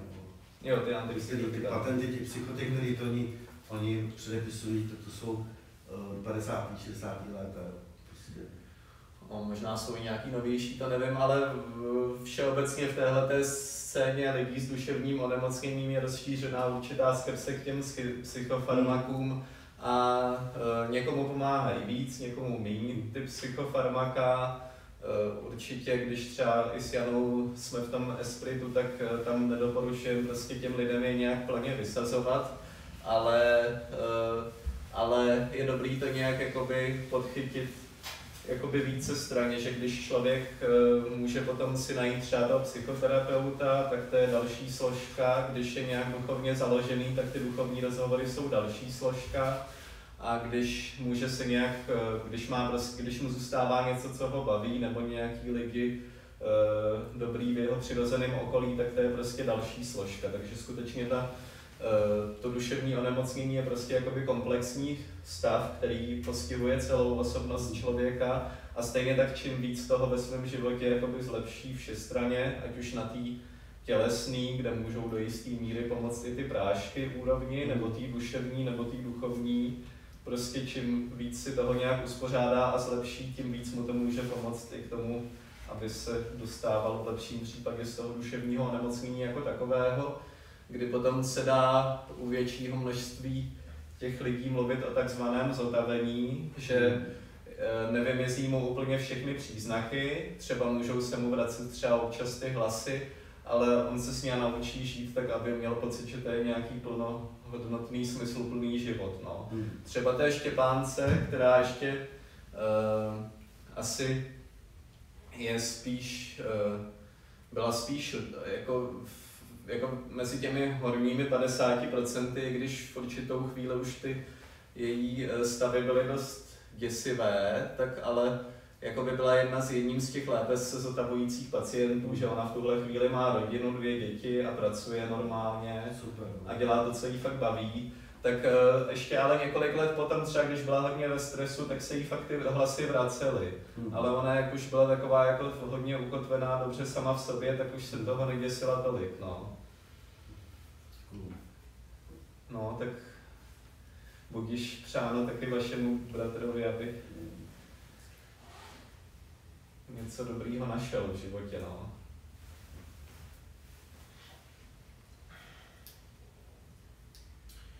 Já bych se chtěl zeptat, jestli, eh, jestli u ní, u té Štěpánky, jakoby to, že nakonec po vší té filozofii, která jakoby zavádí člověka na všechny možné strany, protože já jsem se třeba zabýval filozofií, ale problém je, že jakoby každý, kdo studuje rád filozofii, si jakoby zakládá rád na tom, že já jsem ten, jakoby, který hledám jako, a pořád eh, prostě nějakým způsobem se snažím tu pravdu nějak uchopit. Jo, a to. Ale vlastně ta filozofie, eh, ta v historii byla tak strašně rozličná, že eh, vede prostě člověka, může víc studii, tudy, tudy a tolik filozofů a všichni mají různé jiné jakoby, názory a proto to může jakoby, člověka uvádět i v různých chaos, že jednou je přesvědčený o tom, za chvíli zase to vidí jinak. Hmm. Jo, ale najednou prostě v tom Bohu může najednou opravdu najít jakoby, nějaký cíl a úlevu, hmm. která tam totiž opravdu je. Jo? Zatímco ta filozofie je jako lidský nějaký vědění a hledání, tak Bůh existuje a proto jakoby, je to úplně jiná jakoby, hodnota. Já jsem o tom teda přesvědčený, teď mluvím za sebe. A já se chci jenom zeptat, jestli ona opravdu, ta úleva její, jestli myslíte, že se potkala právě v tom Bohu, jakoby, že ona ji získala, anebo jestli to byla jenom náhoda, že ona opravdu měla nějaký stav úlevy a do toho ona jakoby, uh, hledala toho Boha, ale nemělo to třeba společně, jakoby, jo, že to nebylo ta úleva na základě toho, že by se dostala k Bohu, ale že zrovna se jí ulevilo a do toho ona zrovna poznala Boha. Jako, jo. A nebo jestli skutečně to plynulo z toho poznání toho Boha třeba. Tak kdybychom byli, uh, kdybychom byli skeptičtí, tak bychom samozřejmě mohli říct, že to mohla být klidně skoda náhod, no, ale já osobně jsem jí to její vyprávění věřil a připadalo mi autentický a tam ona říkala, že prostě ta úleva se s tím snoubila, že jako nějak by se s tím Bohem setkala ve chvíli té rezignace. A to vlastně tam souvisí i ten moment té rezignace právě s tím zlepšením, což prý i psychoterapeuti taky u některých lidí shledali skutečně jako terapeutický moment, že vlastně pokud eh, vlastně jakoby ukořené spousty těch eh, destruktivních psychických stavů je právě ta úzkost. A ta úzkost roste, dokud mám se čeho bát. A ona prostě v té rezignaci si řekla, že už není čeho se bát, protože ten život je stejně ztracený. A tím začala ta úzkost opadat, což je zajímavý moment právě. No. A to vlastně v mírnějším smyslu lze vysledovat i u některých uh, fobí, kdy se bojíme něčeho naprosto konkrétního, jakož třeba někdo se bojí uh, společnosti, že má třeba sociální fobii a pak některým těm lidem třeba s tou sociální pomohlo, fobii pomohlo, že jakoby připustili ten nejhorší možný scénář a začali si z toho dělat legraci a potom eh, se jim začala zmírňovat ta fobie, nebo třeba někdo má chorobný strach z nečistoty, takže jsou takové kazuistiky typu, že když nějaká paní třeba od rána do večera uklízela, protože měla chorobný strach z nečistoty, tak potom vlastně ale za pomoci toho terapeuta nějak prozřela, že může i ten nejhorší možný scénář připustit, to znamená, že se může objevit i nečistota v jejím bytě a potom si prý udělala celodenní program, kde záměrně chodila a drobila po pokoji, aby opravdu skutečně se ponořila pokud do toho nejhoršího možného scénáře a prý, že v tu chvíli člověk se začne i trochu jakoby uh, dělat legraci sám ze sebe a některým těm lidem s těmi těmi obavami to může skutečně pomoct. Prý, no. No, ne, já bych řekl, že třeba i mému kamarádovi, který se léčí zase třeba s obsedantně kompulzivní poruchou, kdy vlastně ty úzkosti různé taky měl, tak mu skutečně tohle to pomáhalo. No. Mě by zajímalo, jak prožívala Štěpánka, když jsi řekl, že je vdaná, má dvě děti, jak prožívala třeba tohle nové období. To znamená, že se asi zamilovala, poznala člověka, kterým mohla žít, jestli se jí třeba znovu na čas nevrátilo něco z toho, co přežít, prožívala předtím, nebo jak to probíhalo. Jo, jako jestli do ní neoživilo nějaké trauma. To v určitém smyslu si vzpomínám, že to pro ní bylo vždycky složitý, jako složitější než pro průměrného člověka, jako by zorientovat se i v tom partnerském vztahu a tak. A na druhou stranu ona je vždycky inspirativní tím, jak je zároveň hodně nepovrchní a hodně taková sensitivní, že to je i zároveň její dár, takže ona za, jako by všechno prožívala úzkostněji, depresivněji a složitěji než průměrný člověk, ale zároveň o tom vždycky umí inspirativně vyprávět a vyvodit z toho různé dalekosáhlé poznání, takže to je na ní zase jakoby to je, to je její cené. Ona vlastně ještě k té filozofii jsem chtěl říct, že ona vlastně tu filozofickou fakultu neopustila ani potom a že jakoby mezi tím nevytvářela příkrý rozpor mezi tou filozofií a tou vírou v Boha, ale spíš si oblíbila nějaké jakoby e, právě buď křesťansky nebo teisticky laděné filozofii. A, a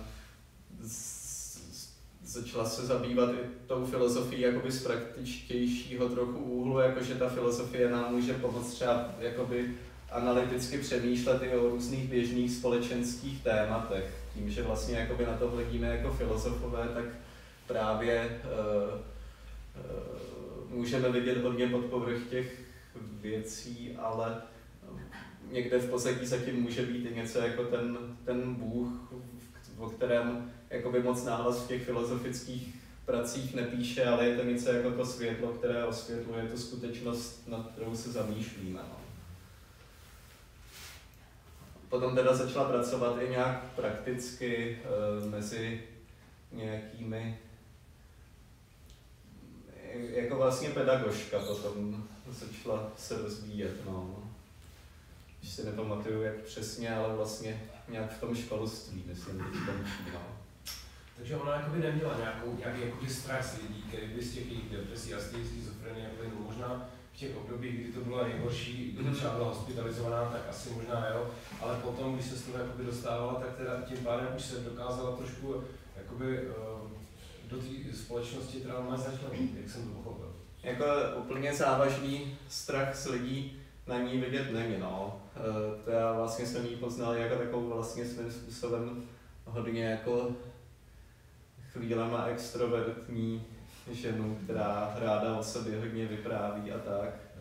A tak ty úzkosti provázely obecně, nebo ten pocit uh, toho odcizení od společnosti, ale v tom období, kdy jsem ji poznal, tak na ní nebyl znát jakoby výrazný strach z lidí. No.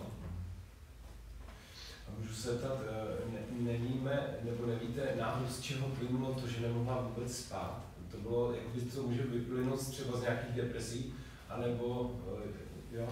Jo, tam se snoubilo, že jí nedali pokoji ty myšlenky, které v ní intenzivně prostě pořád pracovaly tím, jak byla pořád myšlenkově zabraná do těch témat, která jí nedala spát, tak skutečně nemohla spát.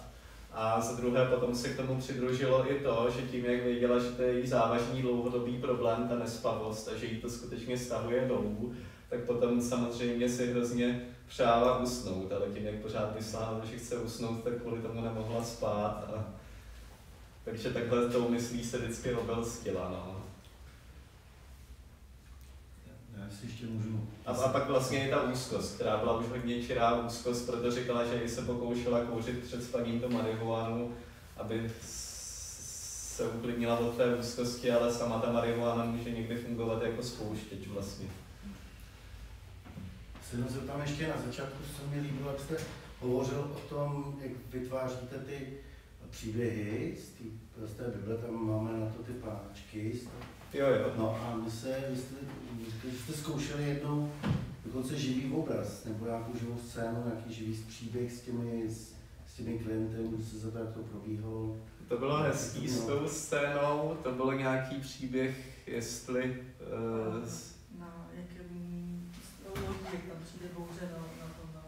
Jestli znáte příběh o Ježíšovi eh, a o učenících na lodi, že učeníci jsou na lodi a Ježíš ním přichází po vodě a Petr říká, se to ty poručet, jdu k tobě po vodě a oni předtím vlastně ne, vlastně to jsou dva příběhy. Jeden je ten, jak Petr, jak Ježíš přichází po vodě a druhý příběh je, jak eh, učeník, to, to byl ten druhý příběh, jak učeníci jsou s Ježíšem v lodi, přijde bouře a uh, oni se bojí a potom Ježíš se probudí a oni říkají, tobě jedno, že zahyneme a on poručí té bouři a tomu větru a, a, a ta bouře ustane. Mm-hmm. A takže to byl takový hezký i příběh proti té úzkosti, mm. tak uh, to jsme tam tenkrát zkresnili do těch živých soch a potom jsme si vyprávěli, jak jsme se při tom cítili a tím, že jsme to dělali ve skupině s lidmi, kteří, jako se kterými už jsme se dlouhodobě znali, tak jsme se nějak neostýchali to, tohle to dělat v tu chvíli. No.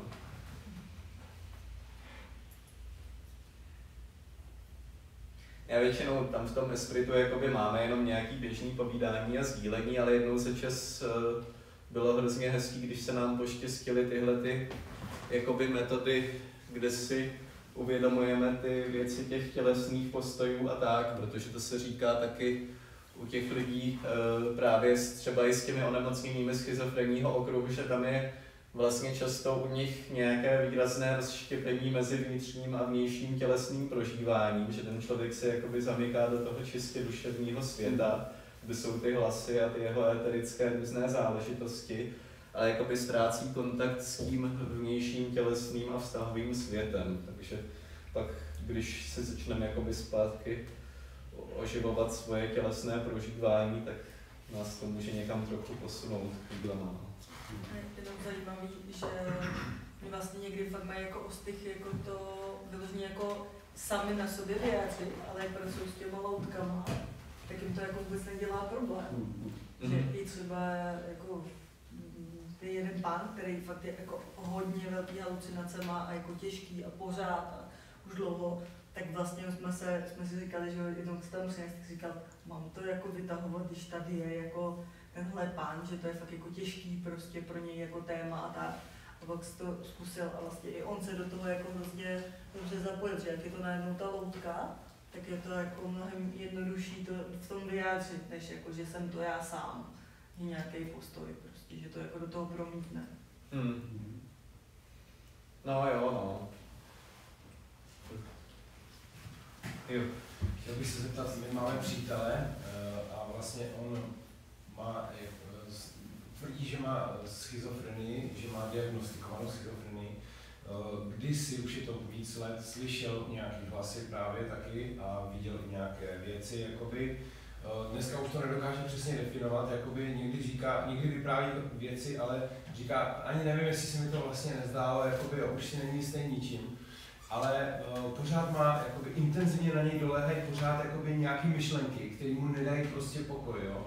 Vlastně uh, jakoby nemá klid, uh, nemůže se jakoby radovat ze života a volně dechat, protože pořád na něj útočí nějaké myšlenky, které se neustále jakoby opakují.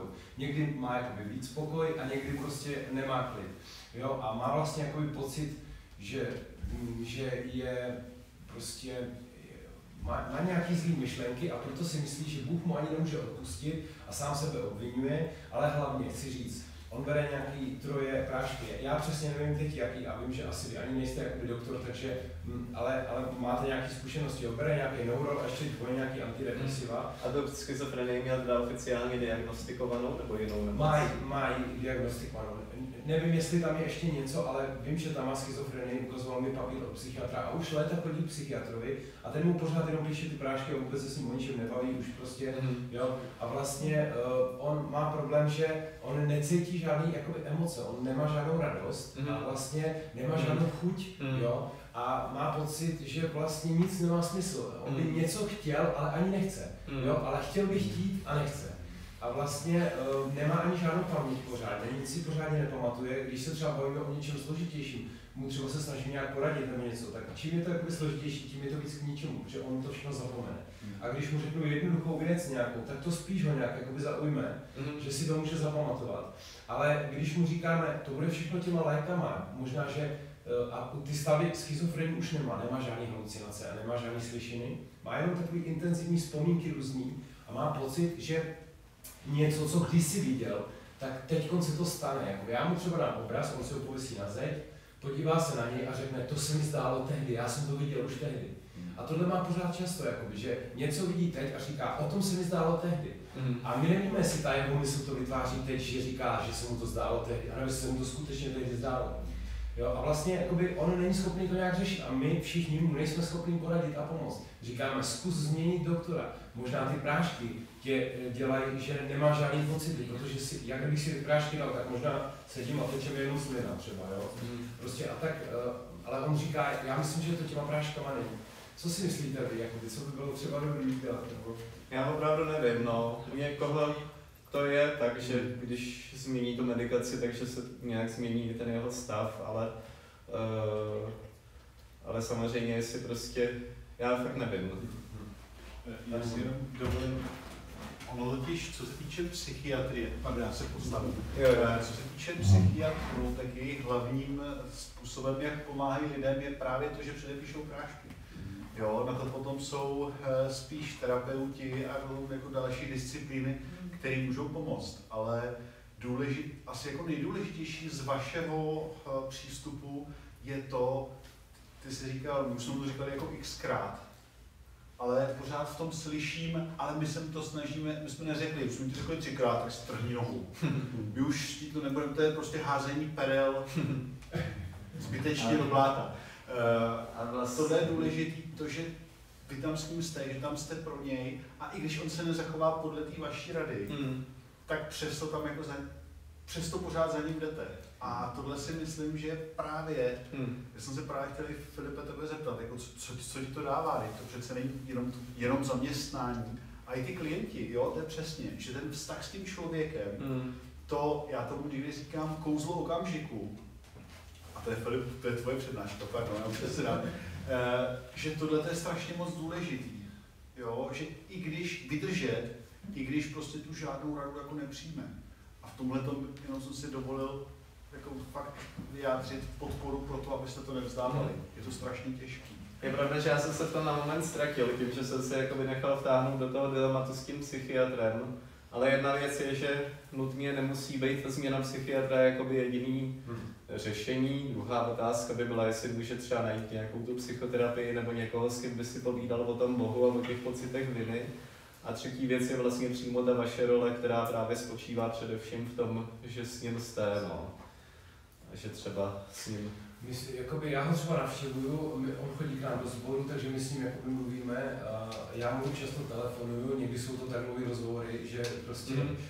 je to komplikovaný, ale uh, a třeba ho vezmeme třeba i na plavání a takhle, Mhm. no, a já se pak zeptám, tak co, jaký to bylo, jakoby, když jdeme z toho plavání, jo, a on řekne, hm, takový, já nevím, no, prostě, jo, je prostě takový jako nějak, ale přesto si myslím, že to má smysl, No, no, že jsme ho vzali na to plavání, že Mhm. kdyby seděl doma a přemýšlel o tom Mhm. nějaký, o té jiné myšlence třeba, jo? Určitě, určitě, Že no. jakoby, a, a hodně se za ní modlíme, no. Mhm. A Vlastně jsem chtěl říct ještě i k té tělesnosti, že nejde jenom o to, že tělem vyjádříme nějaký postoj duševní, ale třeba i ta Štěpánka říkala, že jí fakt pomohlo mimo jiné v, v tom zotavování cvičit jogu, což pro nás jako křesťany, některý křesťany to může znít třeba trochu rozporuplně, jestli jako yoga je dobrá nebo špatná, ale jí to prý skutečně pomohlo k tomu, aby se dostávala víc do kontaktu s tím svým vlastním tělem, což uh, u vás může být uh, podobné, když ho třeba vezmete na to plavání a vůbec prostě jakýkoliv neformální kontakt může hrát uh, nedocenitelnou, nedocenitelnou úlohu když už ne v tom, aby se stav toho člověka zlepšoval, tak může často hrát v tom, aby se stav toho člověka nezhoršoval, že třeba uh, často těm lidem i může pomoct třeba nějaké dobrovolnictví. Já jsem ještě uh, v Praze vlastně byl součástí toho dobrovolnického programu a tam právě my jsme byli něco jako takový jako poučený kamarádi pro ty lidi a právě ten člověk může mít třeba velkou úzkost a nechuť překročit práh svého domu, ale když za ním ten dobrovolník přijde a vytáhne ho na procházku a začnou si o něčem povídat, tak ten člověk se třeba nemusí vždycky tvářit, že je z toho nějak eh, bezmezně nadšen, ale dlouhodobě to může pomáhat ke stabilizaci toho jeho stavu. No. Takže když to vzniká takhle jako to intenzivnější přátelství v té církvi, tak to je právě hrozně fajn, že něco takového existuje. Já jsem jenom k tomu chtěla, že si myslím, že pokud ten člověk je schopný jít do sboru, váma plavat a tak, tak si myslím, že to je jako mnohem víc než většina těch lidí, který jako třeba trpí fakt nějakou už jako formou schizofrenie, kdy fakt jako zůstávají doma a zůstávají v těch myšlenkách a třeba ty léky často ani nezabírají tak, jak mají, mm. protože každý tu chemii máme v životě, jako v tom těle jinou opravdu to u každého působí jinak, tak je to něco, co spousta těch lidí vůbec jako nezažije. Takže to je jako obrovský dár, prostě, i když to třeba ten člověk úplně neprojevuje a mluví s váma jako třeba o tom, jak, jak necítíte moc a necítí tu radost, tak už jenom to, že fakt jako vyjde ven mm-hmm. a něco mu jako vlastně pozitivně naruší ten stereotyp, tak je vlastně fakt jako super. Protože přesně jak říkal jsem, ten stav fakt může jako hodně zhoršovat, když ten člověk zůstane sám s těmi svými myšlenkami. Potom taky, potom taky těm lidem vždycky asi pomáhá být jakoby akceptování i v těch jejich trochu eh, zvláštnostech, jakože to naznačil vlastně Honza, že ten kontakt s těma lidmi je obohacující zároveň. Oni už, už jako skutečně často mají v sobě nějakou specifickou citlivost, což jsme mohli tušit i z toho jejího příběhu, kterou zase třeba my nemáme, takže v něčem mají handicap a v něčem nás mohou obohatit. No. Ale tím, že ten člověk je někdy třeba prudce introvertní, tak to může mít jako trochu zamčené v sobě a cítíme to spíš nonverbálně, tu jeho obohacující originalitu, ale přesto je někde ve vzduchu. No.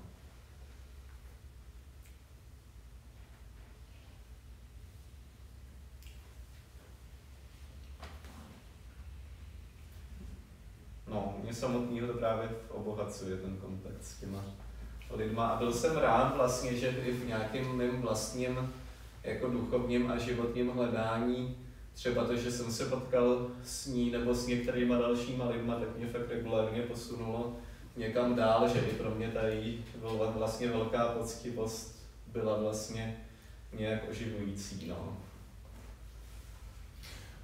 Já myslím, že tady je jakoby zvláštní, že ona zároveň, že ona teda nádherně maluje, to mě, mě se její obrazy velice jako líbí, jo, ale že vlastně ona tady jakoby namalovala celý ten průběh toho svého života. Takže my nejenom, že se můžeme bavit o tom, co byste od ní jakoby normálně verbálně zjistil těma mm. rozhovorama, ale zároveň vidíme tady jakoby znázorněný, namalovaný ten průběh. No, no. A, ten, a ten je úplně poctivý, prostě opravdu ty její pocity, jak ona to maluje, že jo, tak ona to maluje naprosto upřímně, asi i tak třeba i hovoří. Mm-hmm. A takže uh, jsme to mohli prostě i vidět, nejenom slyšet, mm-hmm. to bylo velice zajímavé. A chtěl bych se zeptat, uh, ty pacienti nebo ty lidi uh, s nějakýma uh, zátěžema, chodí teda jakoby do toho, uh, já jsem zapomněl ten název, uh, ten Esprit. No, teda oni tam sami jakoby můžou dojít, nebo jsou tam nějak nasměrovaný, anebo vy se stýkáte i s lidmi jakoby někde jinde, nebo náhodně, anebo jenom tam. A jak se tam ty lidi jakoby dostanou? No, asi, asi budu odpovědět za tebe. Jo, jo. a, a, jednak o tom bude jedna přednáška, jak jsou tam ty trpící, tak a, já přijedu s kolegyní ještě. A, uh, ale ty lidi jsou v 90% směrovaným psychiatrem, protože většinou je to člověk, se kterým se nejvíc setkají a hodně mu věří, jakože to je prostě nějaký, když se vrátí z hospitalizace, nebo třeba prožijou nějakou ataku třeba i doma, nebo, nebo někde v nějakém prostředí, tak uh, pak vlastně většinou kontaktují toho psychiatra a my máme výbornou spolupráci v Chomutově s psychiatričkama a oni většinou ty lidi k nám nasměrují. A, ale uh, k, nedorazí k nám všichni, dorazí k nám třeba 50% těch lidí. Některým to trvá třeba několik let, protože teď už vlastně budeme mít pátý výročí. A už vlastně vím, že některým těm lidem fakt trvalo několik let od prvního nějakého jako doporučení, uh, než vlastně vůbec se k nám jako odhodlali a třeba nebo třeba přišli pak přišli za rok, pak přišli za půl roku a pak teprve začali jako chodit prostě, takže to je takový jako, uh, je, je, to, a je to jako zvláštní, fakt každý ten člověk je jako jinačí a vůbec tam jako ty, ty diagnozy vlastně pak jako se stávají úplně hrát roli v tom, jako i věkově jsou různě ty lidi a, a, a tak, no, takže. Ale většinou je to přes ty psychiatričky, anebo, nebo přes rodinní příslušníky, třeba hledají pomoc, a nějak nás jako najdou, protože máme i kavárnu ve městě v Chomutově a tam vlastně máme ty služby nějak jako inzerovaně, tam zaměstnáváme i jako chráněná dílna lidí s nějakým zdravotním handicapem, takže, takže třeba přes tu kavárnu někdy přijdu.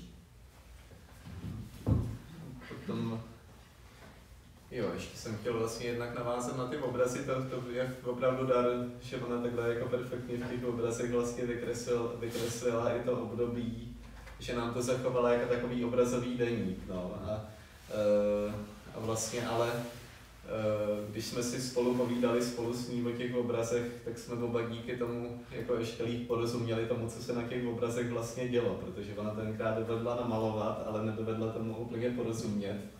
A dodatečně jsme zjistili, co to tam přesně bývá.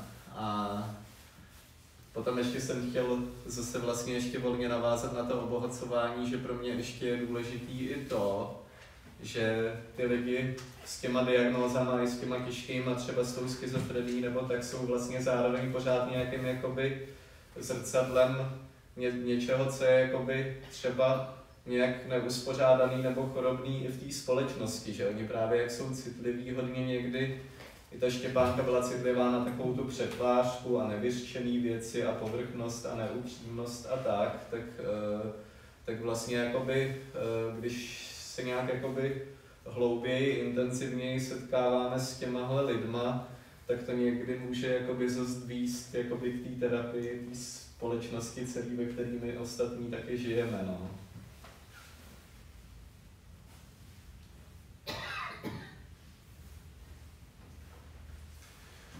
A jsou někde nějaký podobný, víte o nějakých podobných zařízeních, jako máte vy? Vy jste se třeba inspirovali nějakým jiným zařízením, eh, anebo ten klub Esprit, nebo, anebo jste to vymysleli nějakým způsobem, to vzniklo samo tady Oni, oni existují jako různě svoje tady v Teplicích, Fokus třeba. Aha. Jako, jako zařízení. No, tak vlastně ty fokusy jsou asi nejrozšířenější po celé České republice. Oni jako nejsou spojeni ničím, jenom se to stejně jmenuje a jsou vlastně v různých krajích. A tak to je takový, takový největší jako zařízení a většinou mají ten program uh, pro lidi jako s konzultacemi, to není vložně terapie, je to sociální práce, takže se s ním baví o tom, uh, jak se třeba zotavit, právě jako a znamená to komunikaci s psychiatrem, znamená to uh, pracovat přesně to, co říkal Filip, jako že se svými blízkýma, abych měl aby to nebylo jenom o tom, že si ráno lupnu prášek a čekám, až to přejde, ale že prostě aktivně jdu třeba na procházku, že mám režim, že třeba nekašlu na ten spánek, že se naučím nějaký relaxační metody, aby večer se mi tam ty myšlenky nehonily a abych se mohl zotavit, zregenerovat tím spánkem. Tak různé takovéhle věci se učí, plus se chodí třeba i po úřadech s těma lidma, aby, uh, protože oni mají hodně často problémy s financema, tak to jim taky úplně nepřidá na tom jako na životní pohodě, takže aby pak třeba získali nějaký dávky, aby mohli nějak aspoň slušně žít Eh, aby pak třeba mohli jít do práce postupem času. A pak máme, to máme jako jednu část, tu terénní práci, a pak eh, ta druhá část je právě ty klubové aktivity, kde jsou většinou ve skupinách, tam právě patří třeba i duchovní aktivity, co má Filip, eh, cvičíme, chodíme plavat, chodíme na hůlky, jakože chodíme na hůlky, chodíme s těma Nordic Walking holema, jezdíme na vejlety, to je hodně oblíbená aktivita a máme skupinu, takovou jako ne psychoterapeutickou, ale podpornou komunitní, aby jsme prostě nějak se bavili o tom, co se zrovna děje. Jako s nimi. Jo, takže to je k těm komunitním aktivitám a vlastně mezi tím nám už čas hodně pokročil, tak já jsem vám ještě akorát chtěl poděkovat za pozornost, že jste to vydrželi všichni a, a, a kdyby vás něco dodatečně napadlo, tak třeba i lze mě kontaktovat, když si najdete prostě evangelickou církev českobratrskou v Komutově, i když asi bych nebyl jakoby připraven třeba se zabývat něčím systematičtějším v Teplicích, ale třeba na něco jednorázového bych mohl zkusit nějak odpovědět, kdyby byla nálada. No. Filipe, moc děkujeme. Díky moc.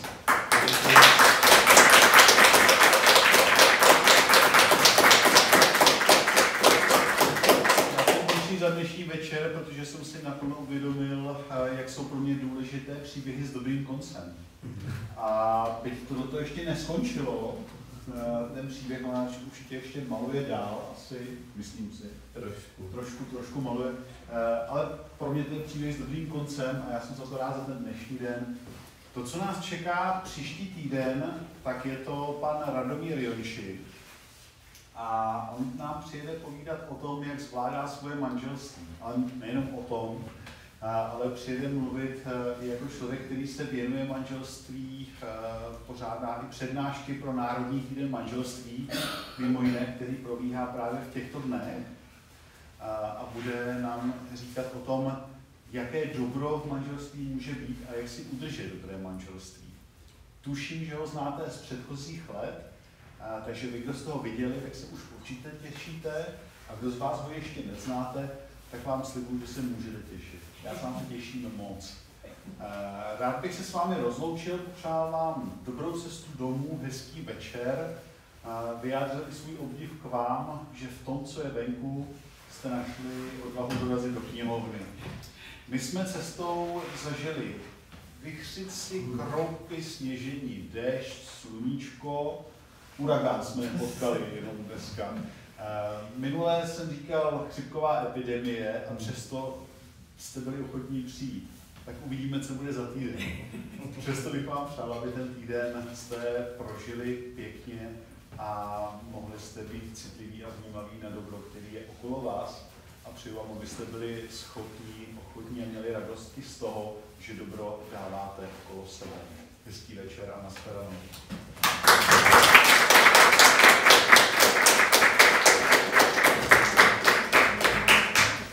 A když byste, už to na mě mává Martina, a kdybyste chtěli přispět i na provoz a na cestovné přednášejících a tak dále, tak u Martiny, u Číček, kam můžete dát i dobrovolné.